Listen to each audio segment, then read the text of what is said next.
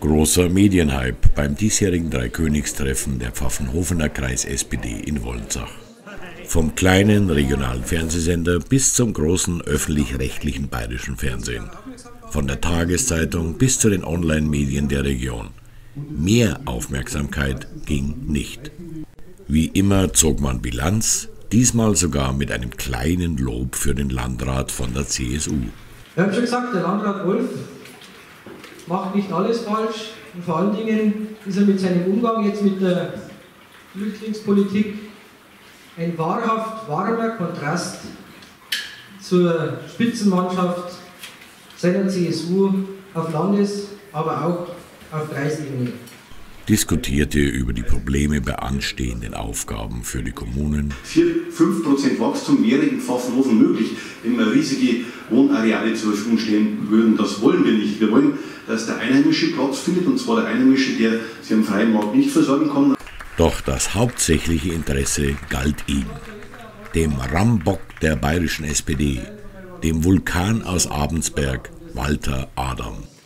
Als Frontmann einer SPD-Basisinitiative Zeit für die Mutigen möchte er zusammen mit Markus Käser und anderen die SPD umkrempeln und sie zurück zu ihren ursprünglichen Werten bringen. Wie es dazu gekommen ist, kann ich euch gleich sagen. Ich habe damals in der Süddeutschen eine kleine Notiz gelesen, dass unser Landesvorsitzender Florian Gronold meint, dass es auch an der Zeit wäre, um neue Koalitionen zu denken und da sieht er auch durchaus eine Chance, mit der CSU zusammenzugehen. Dann habe ich die Zeitung hingelegt und habe gesagt, das darf ja nicht gut sein. Das kann es ja nicht geben. Da müssen wir was tun. Das geht ja nicht. Du, die, die sagen einfach, wir gehen mit der CSU zusammen. Mit der CSU, bin fast 50 Jahre bei der Partei. Ich habe 50 Jahre lang daran gewartet, dass wir endlich diese selbstgerechtige, selbstgefällige, protzige Partei endlich mal abwählen.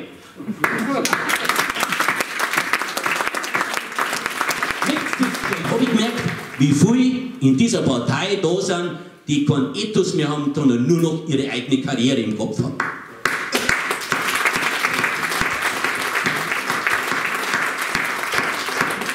Und dann haben wir dieses Video gemacht. Und wir von Bürgersicht haben ihn zum Gespräch gebeten.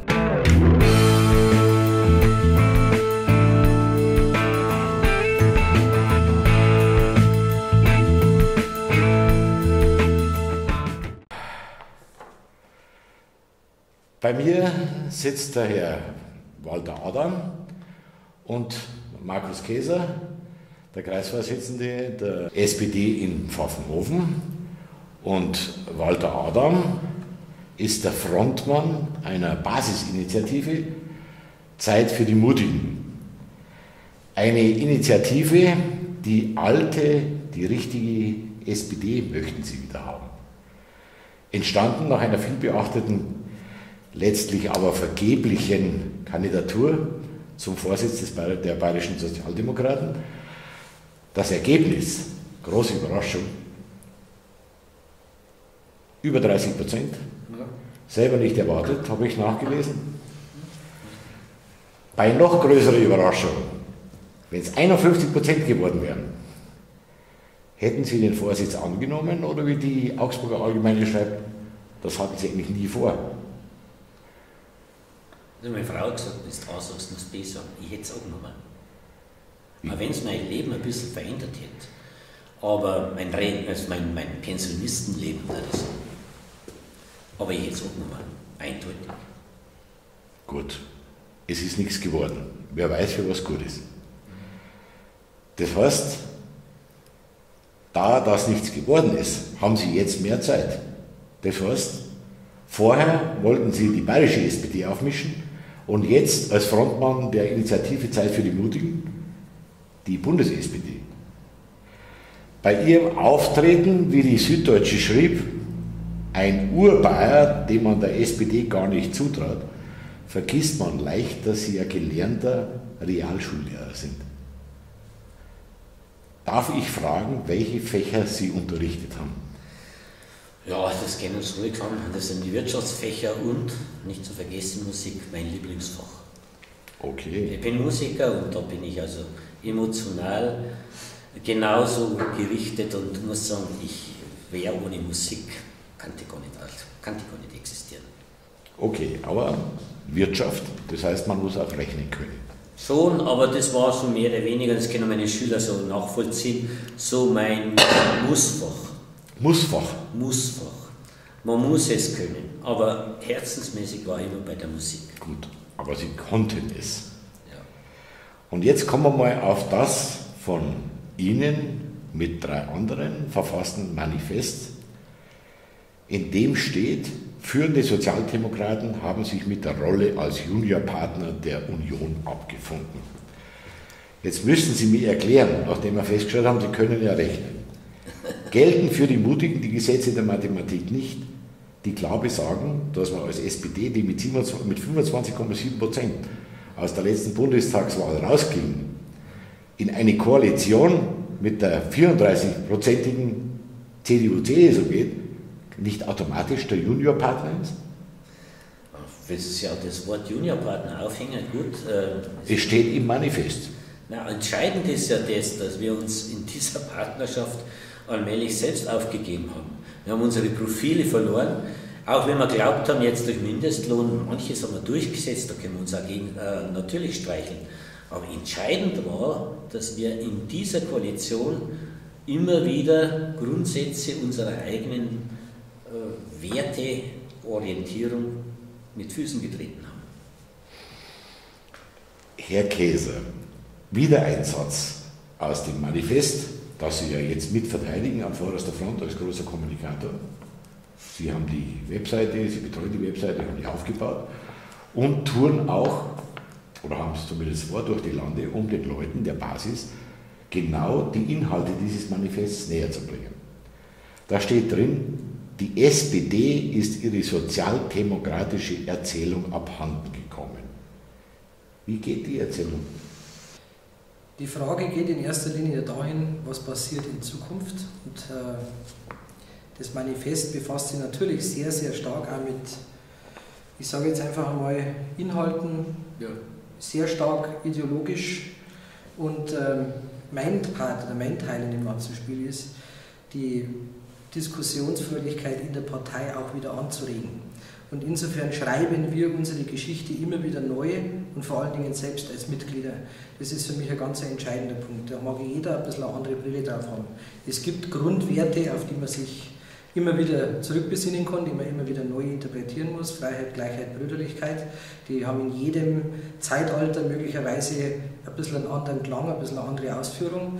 Wenn ich aber nach vorne schaue, dann habe ich vor allen Dingen ein Problem damit, dass eine SPD mehr oder weniger visionslos daherkommt, heute in der Großen Koalition einiges erreicht hat. Da kann ich, auch, da kann ich unumwunden sagen, dass äh, ein, ein, Gabriel aus diesen äh, 25 Prozent mehr oder weniger inhaltlich fast 50 Prozent gemacht hat. Da habe ich, äh, muss man sagen, großer Respekt. Da hat er gut verhandelt.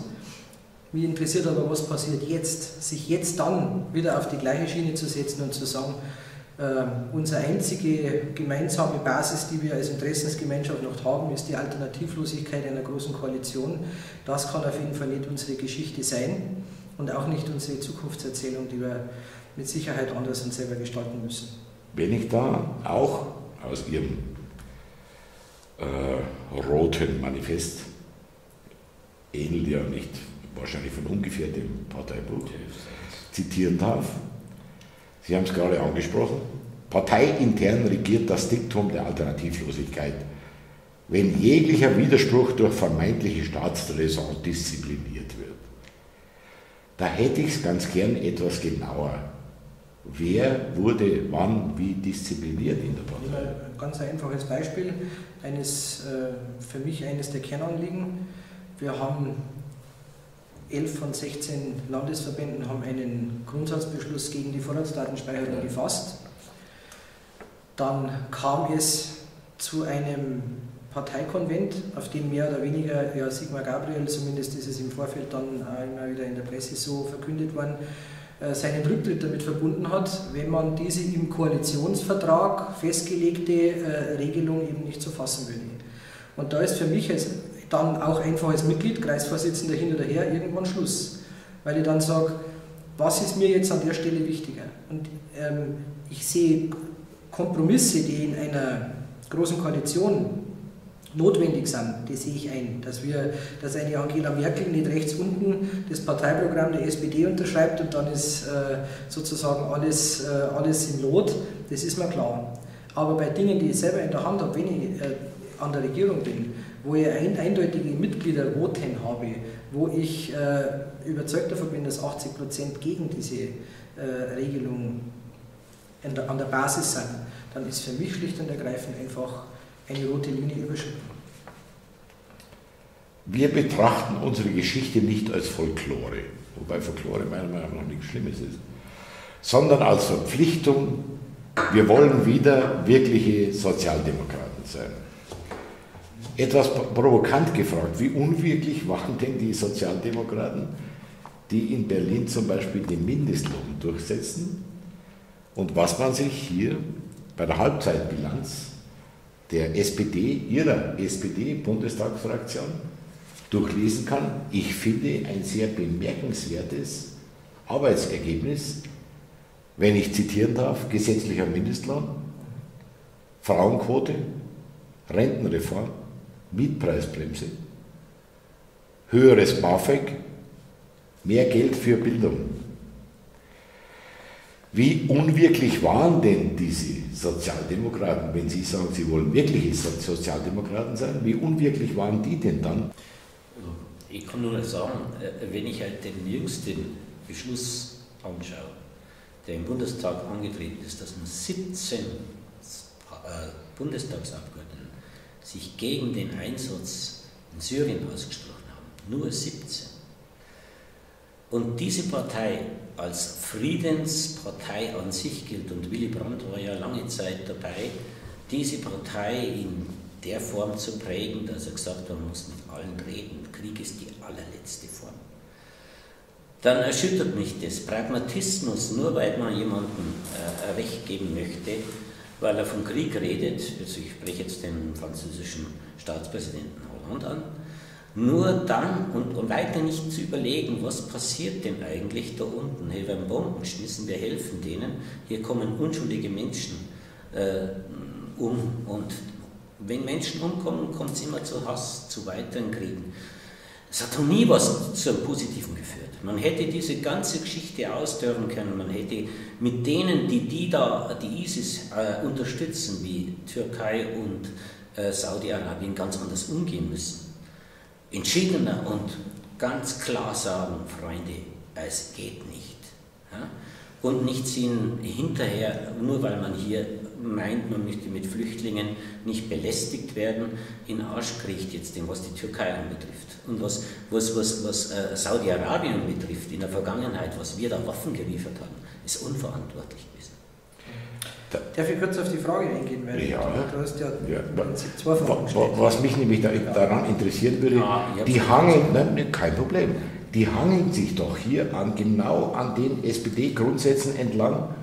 Das, äh, wird das nicht gesehen oder ist das zu wenig?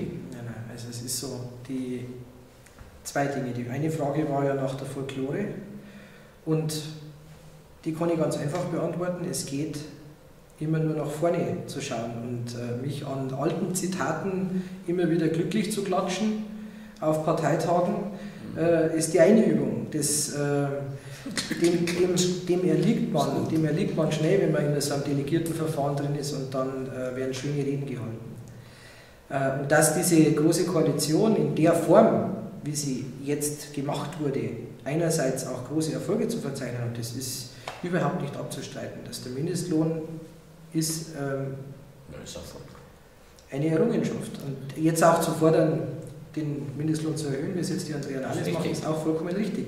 Wir verstehen uns ja auch nicht als eine, wie soll ich jetzt sagen, zerstörerische Kraft innerhalb der SPD, die sagt, wir müssen jetzt alles schlecht machen.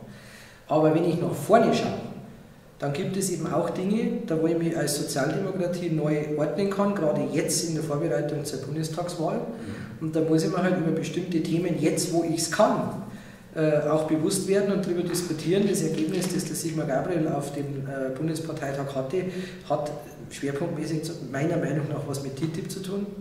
TTIP ist eines der Themen, die wir eben noch steuern können. Es ist für die Vorratsdatenspeicherung eine Evaluierung geplant in ähm, drei Jahren, glaube ich. Das heißt, auch da kann man eine klare Aussage treffen, wie man, wie man dazu steht. Und in meinem Fall kommen auch nur solche Fragen wie, ich bin Landesvorsitzender der Bayerischen Bürgerenergiegenossenschaften, Gesellschaften, die sind aufgestellt von Aschaffenburg bis äh, Bad Reichenhall.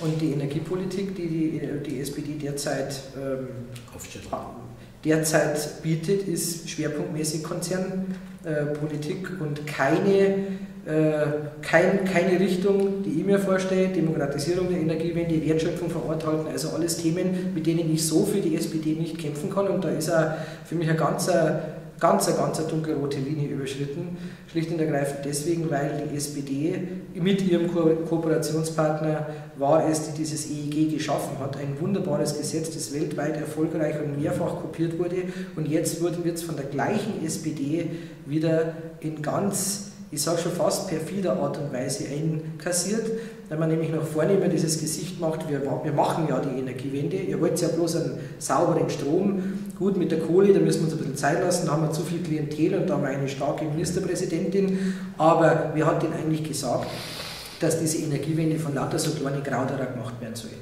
Und so kommt mir das vor. Auf der anderen Seite beschwören wir die Bürgergesellschaft, beschwören wir, dass die Bürger sich äh, mehr für unsere Gesellschaft engagieren sollen.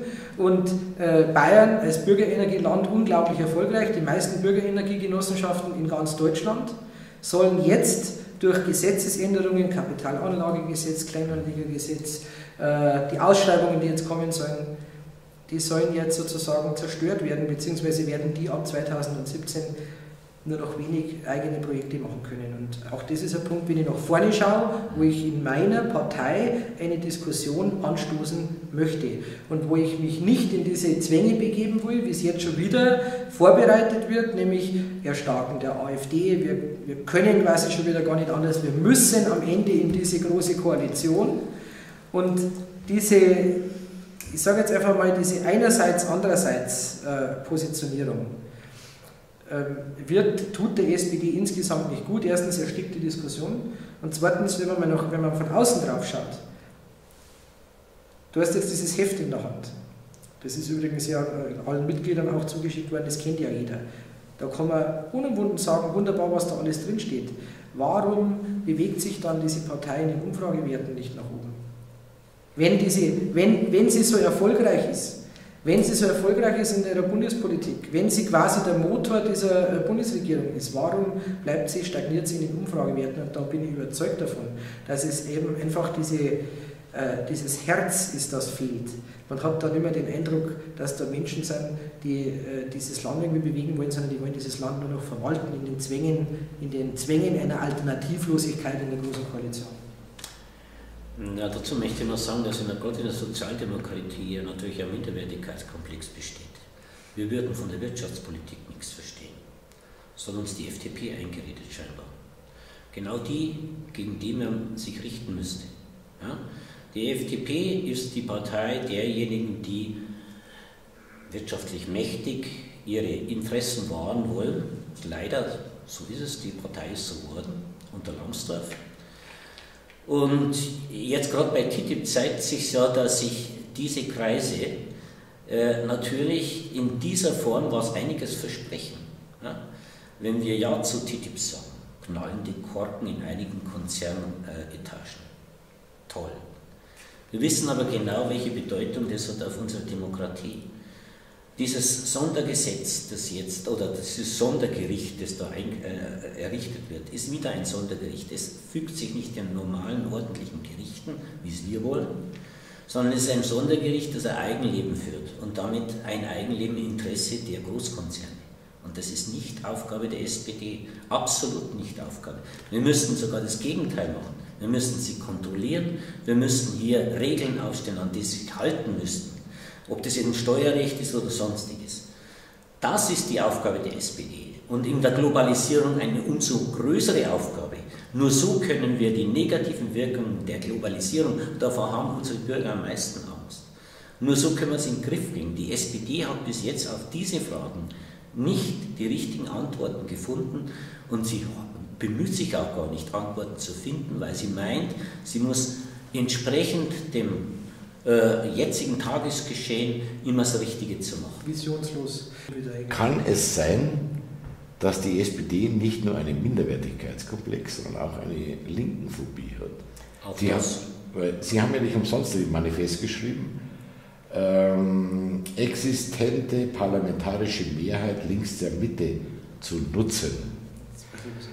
Da würde mich, da würde mich jetzt brennend interessieren, welches Signal sollte dann von Berlin aus, von, den, von der Bundes-SPD kommen, das Ihnen signalisiert, okay, lassen wir das mal mit, der, mit dem Minderwertigkeitsgefühl, da sind wir noch nicht so weit, aber dass wir durchaus sehen, dass es äh, links von der Mitte eine Mehrheit gäbe.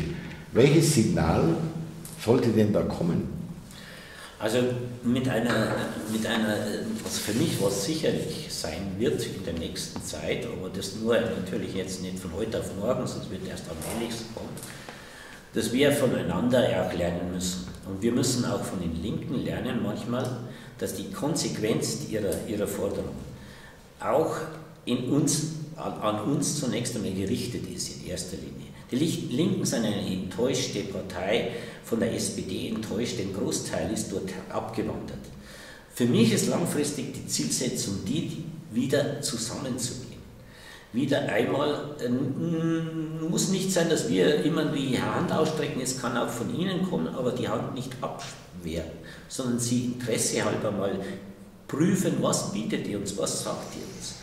Und dann müssen wir zusammenkommen müssen wieder reden. Wir haben eine fürchterliche, ja fast so eine psychopathische Scheu, mit Linken zu debattieren. Und das muss aufhören. Wir müssen die Debatten auch mit den Linken führen, wie wir es mit den Grünen führen, wie wir, wie wir mit denen führen, die uns näher stehen. Und eines ist auch klar, und das sage ich hier ganz offen, die Grünen und Linken stehen uns näher als die CSU und CDU. Genau zu dem Punkt neue Mitte. Nicht neue, wir nennen das jetzt arbeitende Mitte. Arbeitende Mitte. Die arbeitende Mitte ist schon quasi ein so ein programmatischer Vorstoß, der da kommt. Und ich habe dazu oder parallel dazu ein Interview mit Christian Ude gelesen vor kurzem. Und ich war ehrlich gesagt äh, schockiert. Und da war ein Satz drin, da hat er quasi so vom Schwabinger Küchentisch aus, äh, hat er da äh, über ähnliche Situationen, auch über die Partei und über die Situation in der Wählerschaft ähm, ein Statement gefasst und das ging in die Richtung, dass er fest davon überzeugt ist, dass es quasi nicht mehr eine nicht mehr organisierbare, politisch organisierbare Unterschicht gibt. Also Aus verschiedenen Gründen, ich weiß jetzt, ich will es nicht falsch zitieren, es war im Prinzip ähm, eine strategische Aussage, so habe ich es verstanden, so nach dem Motto, es gibt da also gewisse Menschen in unserem Land, die äh, sprechen die Sprache nicht mehr, die sind nicht mehr politisch organisierbar, sind äh, sozusagen Abgehängte und mit denen können wir uns also quasi deswegen nicht mehr beschäftigen, weil sie ja eben nicht politisch organisierbar wären. Das heißt, das ist im Prinzip ja so eine Art, äh, schon, sagen wir mal, so eine Formel, die auch diese arbeitende Mitte anspricht, die, die eine Arbeit haben. Und da hat man in, wo ich zum ersten Mal auf den äh, Walter aufmerksam worden bin, also in dem ähm, Video zu seiner ähm, Kandidatur für den Landesvorsitz, hat der Walter am Ende ein, einen Satz drin, der mich persönlich unglaublich bewegt hat und der hieß, wir sind nicht bloß, oder wir sagen Wir sind nicht für euch da. Wir sind nicht mir. Ja, wir sind nicht wir, sondern wir sind für euch da. Sondern wir sind für euch da und zwar für die, die uns wirklich brauchen. Genau. Und diese Frage, der Walter hat es gerade gesagt, also auf der einen Seite Konzernen in den Hintern kriechen, auf der anderen Seite abgehängte Menschen äh, oder mehr oder weniger eine Negieren. Klasse von abgehängten Negieren. Menschen zu definieren. Ich definiere sie ja damit, wenn ich sage, ich spreche es mal an.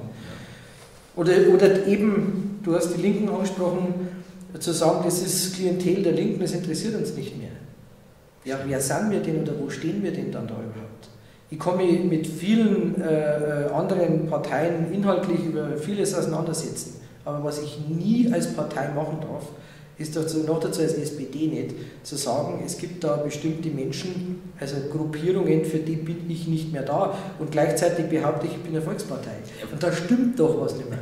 Und zu den Milliardären, der vielleicht, kann, kann ich noch Verständnis haben, wenn man sagt, wir sind nicht, wirklich nicht für euch da. Ja, aber zu denen, die eigentlich unser Klientel sein müssen, der will sowas nie sagen. Was gibt, was gibt Ihnen denn die Hoffnung, dass Sie das, was Sie manifest und was Sie jetzt gerade hier im Interview ja, verdeutlichen, was gibt Ihnen die Hoffnung, dass die angesprochenen Personenkreise sich die Zeit und das Verständnis dafür nehmen? Welche, welche sind jetzt gemeint? Dass sie es durch, durchsteigen wollen, das Manifest, dass die SPD sich wachrütteln lässt. Äh, wir, reden, wir reden von Überalterung, wir, reden, wir, haben, wir haben auch heute bei der Veranstaltung beim Dreikönigstreff, ja, okay, äh, gut, mit einem Blick auf die Zuhörerschaft haben Sie, Herr Käser, ja gesagt, naja, gut, äh, ihr werdet es, ich übertreibe jetzt, ihr werdet es nicht ganz so, es wird euch nicht ganz so interessieren, was das mit der Vorratsdatenspeicherung ist, aber denkt an eure Kinder, die verstehen schon. Ja, Also, das ist ein schönes äh, Beispiel. Ja, aber ist das nicht, ist es nicht sehr vermessen oder ist es nicht, vermessen kann man nicht sagen, sondern ist es nicht eine wahnsinns Herkulesaufgabe, dann wirklich die Partei so weit aufzurütteln, dass sie dem Folge leisten und dass sie auch, dass sie sich der Mühe unterziehen, ihr Pamph äh, Pamphlet, hätte ich beinahe gesagt, also ihr Manifest, das ja wirklich nicht leicht zu lesen ist. Es ist ein bisschen sehr intellektuell überfrachtet. Gott sei Dank gibt es das Video dazu, weil das ist ja das mehr das Eingängigste vom Palast, entschlackte. Ja. Aber was gibt ihnen die Hoffnung, dass was passiert? Also das Manifest lesen bestimmte Leute nicht, weil sie zu, wirklich, aber wir wollten auch nicht etwa in einfacher Sprache diese komplexen Dinge wiedergeben, sondern wir wollten eigentlich auch, und das ist unsere Intention bei dem Manifest, das auf eine Ebene bringen, die auch wissenschaftlichen Belangen standhält. Und deswegen ist es aber nicht so, dass wir sagen, wir müssen immer nur die Sprache der ganz einfachen Leute reden. Wir wollen aber sie ansprechen, indem wir sie einfach, das ist wirklich, sagen darauf aufrufen, ich bin für euch da. Wir machen etwas, was euch einschließt. Also diese Barmherzigkeit oder Warmherzigkeit ist ein wesentliches Moment der, der Partei. Man darf nie welche Leute, die sich ausklinken oder aus persönlichen Frust oder einfach sagen, meinetwegen äh, sich völlig um, äh, zurückziehen, wie die Jugend ist, man darf die nicht einfach als äh, nicht existent für die Politik anschauen. Das ist ja unser, das, das wäre eine wichtige Sache, dass wir die ansprechen, ihnen helfen.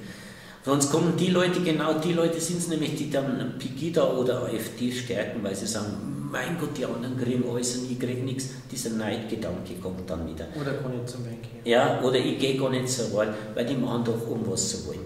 Und deswegen, weil wir das spüren, dass sich unsere Partei Kaste, unsere Politikerkaste, die obere, abgeschottet hat vor den Leuten, dass sie einmal runtergehen und sagen, Freunde, ich bin für euch da und ich sicher mal meinetwegen mit Reiter Ausnahme, weil der war im Asylantenheim, der hat sich die Sache angeschaut. Das finde ich sehr wichtig, dass einer runtergeht und sich äh, wirklich die Arbeit macht, nicht nur einmal einen Gummistiefel anziehen und wenn, wenn was überschwemmt ist, Mit dass Reiter man hingeht, damit die und sagen. Politik und Presse kommt mal, ich bin einer von euch. Nein, dass einer wirklich glaubt, ich tue was für euch. Ja? Und äh, ich muss das nicht immer raushängen, aber ich, ich gebe auch zum Beispiel jetzt Deutschunterricht für Syrer. Und- Weil das freiwillig. Und es bringt mir was, weil ich weiß, ich verstehe erst die Leute richtig. Und wenn ich an diese neidigen Sprüche höre, mei, die werden, die kriegen das und die sind auf Rosengebeten gar nicht da. Dann müssen sie mit einer Bürokratie beschäftigen, die unglaublich ist und, und müssen sich äh, natürlich mit ihren ganzen äh, Traumata, die sie haben, auch zurechtfinden. Ich habe da noch ein ganz einfaches Beispiel, das ich ja als einfacher Kommunalpolitiker dann Ja. erlebe. Ich bin Fraktionssprecher in einem Stadtrat einer Kleinstadt und ähm, ich bewege mich mit auf neuen Kanälen, auf Facebook täglich und was da so an mich herangetragen wird oder Leute, die mich dann anschreiben, da merke ich ja, na, das ist genau, das sind ja diejenigen, die genau dieses Angebot auch nutzen, zu sagen, da ist jetzt einer, den kenne ich, der ist da vor Ort oder hat auf jeden Fall was mit meiner Gemeinde zu tun und den kann ich jetzt ansprechen. Und ich merke in der, in der, in, in, in, dem, in der Diskussion, die da oft entsteht oder in den Fragestellungen, die da aufkommen, dass man sie ohne so, ein, so eine Kenntnis, wie ein Mensch in unserer Gesellschaft heute lebt, und zwar durch alle Schichten. Da schreibt mir der Bauträger ganz genauso an, wie, wie jemand, der halt tatsächlich das Problem hat, dass er sagt, ich muss aus meiner Wohnung raus oder das Problem hat, dass, er, dass, äh, dass Flüchtlinge im Nachbarhaus einziehen und äh, er jetzt nicht weiß, wer da zuständig ist, mit wem er reden kann. Aber wer das nicht mehr mitkriegt, wer komplett davon entkoppelt ist und dann auch noch auf die eigenen Mitglieder, die ja das dahin transportieren könnten, in einem, sei es Delegiertenverfahren oder im, im, im Gespräch mit einem Abgeordneten, auch nicht mehr interessiert, da kriege ich Angst.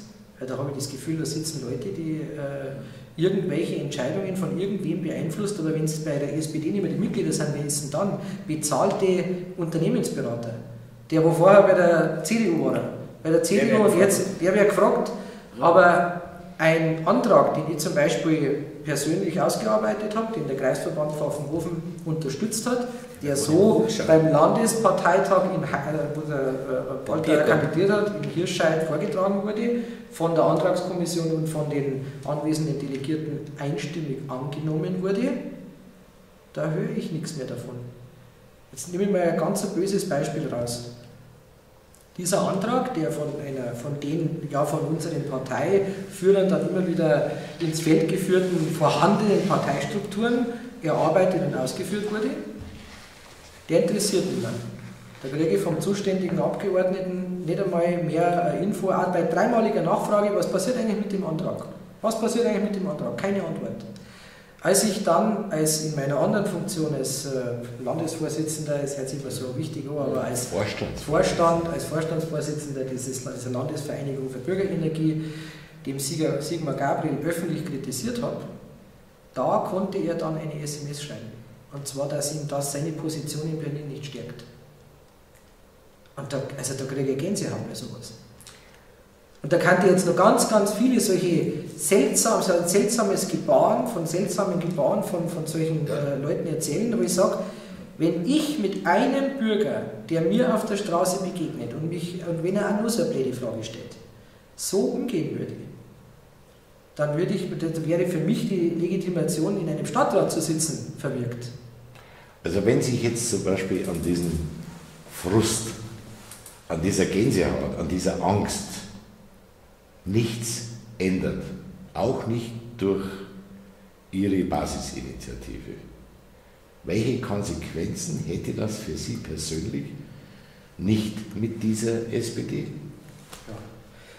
Das stellen wir uns lieber nicht, die Frage. Die Frage, also ich stelle mir die schon, und zwar ganz einfach deswegen, weil ähm, wir kritisieren ja auch äh, jemanden wie zum Beispiel den Heiko Maas, dass er da umgefallen ist in der Entscheidung und dann konsequent gewesen wäre, wenn er zurückgetreten wäre und nicht einfach dann sagt, ja gut, ich gebe dem wieder einen anderen Namen, ein bisschen einen anderen Anstrich. Das heißt jetzt gar nicht mehr Vorratsdatenspeicherung, sondern Höchstspeicherfrist oder so. Das ist so ähnlich wie, dass man zu Transitzonen dann irgendwie Willkommenscenter sagt. Also das ist ja so diese eben Konsensfäule, die wir immer wieder ansprechen.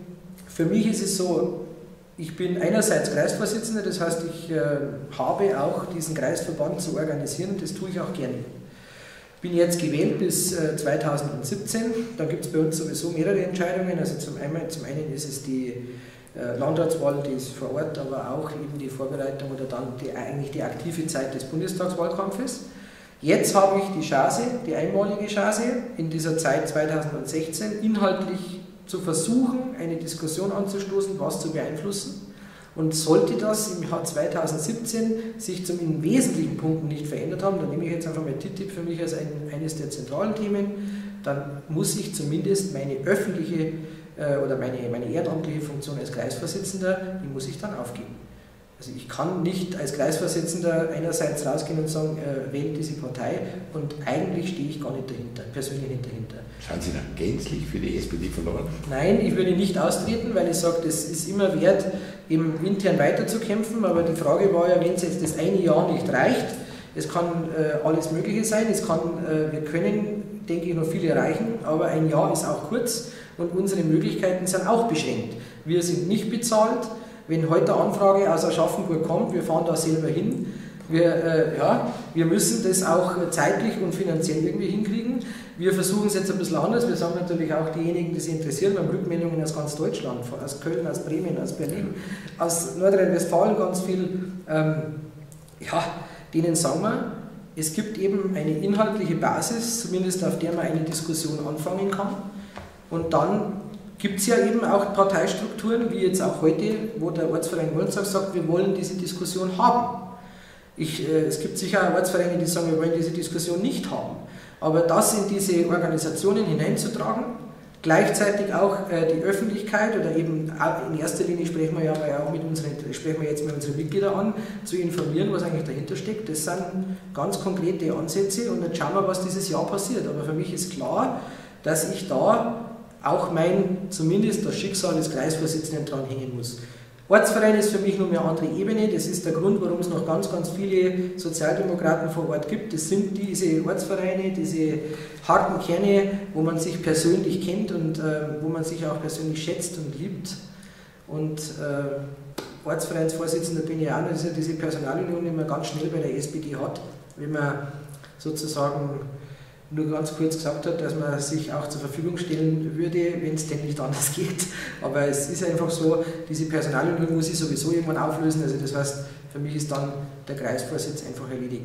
Das heißt, und deswegen setze ich mich jetzt umso mehr dafür ein, dass es mir möglich ist, wieder anzutreten. Also klare Ansage von Herrn Käse.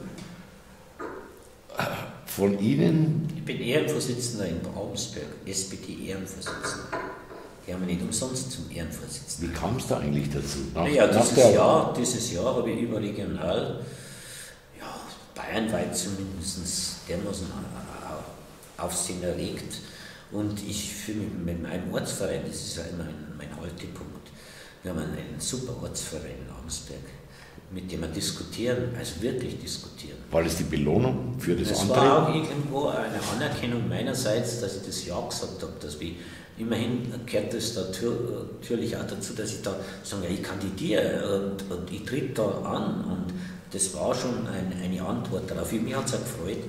Aber der Punkt ist der, wenn es jetzt das Jahr, wenn Sie sagen, was passiert in der Zukunft, wenn Sie nichts geschieht, ähm, dann wäre ich also mindestens, äh, zumindest äh, schauen, dass ich äh, ich habe ich hab noch keine Lösung, ich sage es ganz ehrlich. Irgendwann wäre es konsequent, sich aus der Partei zu verabschieden, aber dann würde ich es nicht machen, so wie La Fontaine so heimlich. Dann würde es mir knallen und pauken und trompeten und alles mitreißen, was geht. Meine Leute aufhetzen bis zum geht raus, geht raus, geht raus, macht, macht die Partei kaputt. Auch das will ich nicht.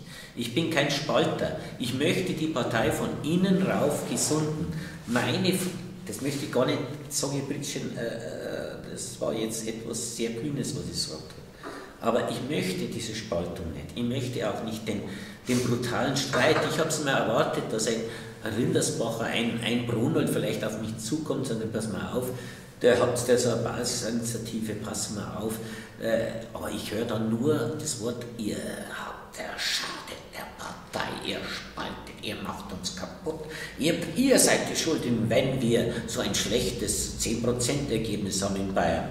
Ja, dann wird von mir wird sicher der Finger kommen.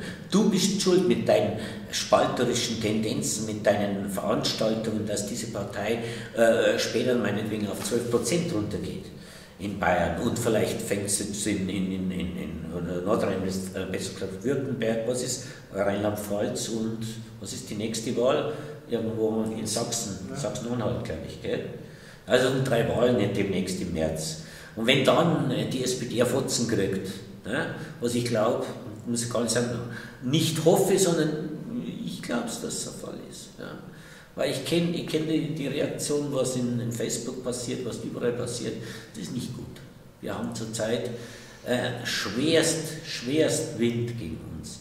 Damit wir uns überhaupt noch als Volkspartei, überhaupt noch einigermaßen nennen können, müssen wir uns von innen drauf gesunden und das möglichst schnell und möglichst in den Jahren noch. Und ich arbeite auch mit, mit Markus, mit anderen, damit wir diesen Gesundheitsprozess so machen können, dass er wirklich schnell passiert. Weil ich glaube, unsere Partei wird zur Splitterpartei der Rentner, wenn, wenn das so weit geht. Von einer gibt es ein Stanzel. Ja. Es gibt mehrere, aber ich ziele jetzt auf ein spezielles um. Und zwar, weil wir ja eigentlich jetzt genau das Jahr als den Knackpunkt ins Auge gefasst haben. Also wenn in dem Jahr nichts passiert, dann passiert aber mit den Mitgliedern was. Zum Beispiel mit dem Kreisvorsitzenden Pfaffenhofen unter Umständen, wie auch immer. Da sagen sie äh, sinngemäß, wenn der, als der Herrgott an Adam nach einem Jahr gefragt hat, nachdem er ihm die Rippen raus hat, was er jetzt machen soll, haben sie, da singen sie, setzen es lieber wieder ein. Das wäre eigentlich, wär eigentlich das Gegenteil von dem, was ich jetzt interpretiere, dass sie sagen, sie wollen aber, dass die Rippen nicht eingesetzt werden. Nein, so, der Schmerz darf ruhig bleiben. Nein, nein, nein. So weit wollen sie nicht gehen. Nein, da haben sie mich missverstanden. Ich bin kein also Masochist, der an diesem Schmerz, äh, ich will gar nicht dran denken. Das, ich, will, ich will, dass die Partei gesundet. Ich persönlich habe mich als Rambock zur Verfügung gestellt, dass junge Leute nach mir nachkommen und sagen, siehst du, da hat es einen alten Alten gegeben, der hat wenigstens einmal auf den Tisch gehabt, der hat gesagt, dem müssen wir nachfolgen. Weil ich weiß, wie Jusos, Jusos sind nur, wenn, wenn es Leute gibt, die sich begeistern und sagen, Gott, das machen wir. Und meine Hoffnung ist, dass Leute, junge Leute eintreten und sagen, so, jetzt machen wir aus dieser Platz. Ich bin ja auch 71 so eintreten. Sie waren ja selber Jusos. 69, 69 bin ja. ich eintreten. Ich war ja selber Jusos. Und wir haben uns gesagt, wir, ich weiß noch, wie wir, wie wir, wie wir auch gegen, äh, gegen einen Vogel sogar opponiert haben. Wir haben auch fürchterlich opponiert. Wir waren ja auch da, wir haben immer gesagt, geh weiter, geh rein in die Partei, wir sind mehr, wir der nächste Wahl. Und wenn dann die Ortsvereine dann Delegierte gestellt haben, haben wir die Delegierten gestellt und den anderen, den alten Deppen, haben wir rausgeschossen. So muss es weitergehen. Okay. Ich sehe das fast ein bisschen weniger kühler. kühler. Insofern, aber naja, es äh, kommt ganz drauf an. Ich habe, ja, ich habe einfach eine, eine andere Parteisozialisierung. Ich bin, äh, zum einen bin ich selbstständig, das heißt, ich komme also weder aus der Gewerkschaftsecke noch, dass ich schon ewig lang dabei bin, sondern äh, seit 2007, 2007, 2008 erst. Ein junger Hupfer, diesbezüglich, diesbezüglich ähm, aber mir auch klar ist, der Walter ist jetzt ein, einer, ein Repräsentant, ein Mitglied in dieser Partei, wie es sehr, sehr viele sind. Also vom äh, Alter, von, äh, von der Motivation, warum sie eingetreten sind. Willy Brandt, also ich habe vor kurzem das Kondolenzbuch äh, von Willy Brandt ausgegraben, als der Helmut Schmidt gestorben ist, habe ich geschaut, was, wie das da aufbereitet war und ähm, habe auch für den Helmut Schmidt ein Kondolenzbuch organisiert, aber wenn ich mir jetzt das durchgelesen habe, was die da den Willy Brandt geschrieben haben, das sind äh, Dinge, die kann ich gar nicht mehr unmittelbar nachfühlen, weil einfach eine andere Zeit war. Ich bin aus kommunalpolitischen Gründen reingegangen, sicher persönlich also sozialisiert, dass es überhaupt keine andere Möglichkeit gegeben hat, also überhaupt keine Alternative zur SPD. Und ja, die Frage, ob man dann als Mitglied nicht mehr weiterwirken kann, die ist für mich eigentlich eine diesbezüglich äh, kühle Geschichte, weil ich, äh, wir sind eine Interessensgemeinschaft.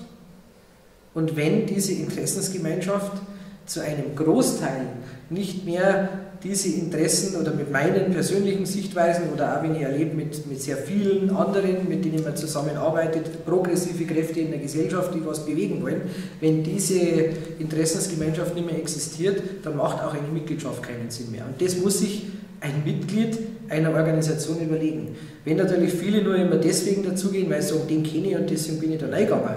Ja, wenn man eben nicht mehr politisch diskutiert, wenn man eigentlich den Hintergrund, den Sinn und genau. Zweck einer Interessensgemeinschaft, einer Partei gar nicht mehr im Mittelpunkt stellt, sondern nur noch, ja, wir treffen uns, wir machen Weihnachtsfeiern, wir freuen uns, dass wir uns sehen, alles toll, gehört auch dazu. Aber eine Partei ist eben eine Organisation, die sich mit Inhalten auseinandersetzen muss. Und das ist uns in vielen, vielen, vielen Bereichen einfach auch an der Basis abhanden gekommen. Und insofern ist jetzt die Bewegung für mich auch eine Art, ja, jetzt hätte ich beinahe gesagt, äh, Frischzellenkurs, sondern es ist für mich eine, ein Fenster aufmachen, dass ich kriege wieder Luft bei all dem, was ich da sonst so erlebe. Ich bin Kompromisse gewöhnt in der Kommunalpolitik, ich bin programmatische Diskussionen gewöhnt, selber genügend Programme geschrieben, auch kommunalpolitische Anträge für den Landespartei, alles soweit äh, einmal gemacht. Aber das Wesentliche ist für mich immer noch, dass ich Mitglied einer Organisation bin, von der ich inhaltlich überzeugt sein muss. Und, in, und ich habe die Möglichkeit als Mitglied Inhalte mitzugestalten, ist der mir jetzt. Und im Jahr 2017 wird sich mal die eine Frage stellen, da ist für mich noch nicht so weit, dass ich sage, da ist jetzt alles weg, da ist das komplette Fundament weg, da ist der ganze Boden weggezogen, dass ich nicht mehr Mitglied sein kann. Aber zumindest ein, äh, ein, öffentlich, ein Ehrenamt oder ein, eine, eine Funktion im Rahmen der Parteiorganisation, zumindest eine in der Form eines Kreisvorsitzenden, kann ich halt einfach nicht mehr machen. Okay, das waren klare Ansagen. Und weil Sie, weil Sie gerade auf ähm, Willy Brandt, Kondolenzbuch und so weiter äh, abgehoben haben. Vielleicht zum Abschluss. Ich habe auf Bürgersicht unter dem Titel SPD kein Hort für echte Sozialdemokraten geschrieben, dass der Niedergang der SPD ja eigentlich in Anführungszeichen wegen ungeschriebener Regeln der Demokratie erfolgte da werden Sie jetzt nichts anfangen können. Ich zitiere hier aus dem Rücktrittsschreiben von Willy Brandt. Nachdem Günter Guillaume, Affäre und so weiter, ihn eigentlich und Wiener zum Rücktritt gebracht hat. In diesem Sinne, aus ungeschriebenen Regeln der Demokratie, Sie haben etliche aufgeschrieben in Ihrem Manifest. Gutes Gelingen. Danke. Danke.